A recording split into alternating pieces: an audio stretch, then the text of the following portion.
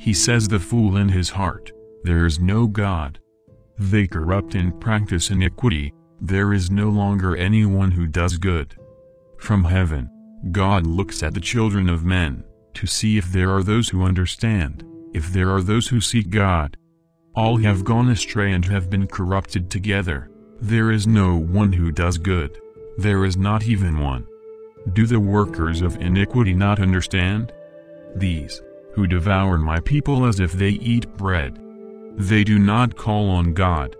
O God, save me, by your name, and do me justice, by your power. Listen, O God, to my prayer, listen to the words of my mouth. Behold, God is my helper, the Lord is the one who sustains my life. I will praise your name, O Lord, for it is good. For he delivered me from all tribulations.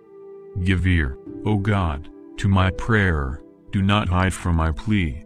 Answer me and answer me, I am perplexed by my complaint and I am disturbed, my heart trembles in my chest, terrors of death leap over me, fear and trembling come over me, and horror seizes me. Then I said, I wish I had wings like a dove. I would fly and find a landing. Behold, I would run away and stay in the desert.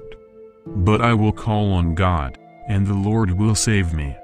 In the afternoon, in the morning and at noon, I will complain and regret, and he will hear my voice.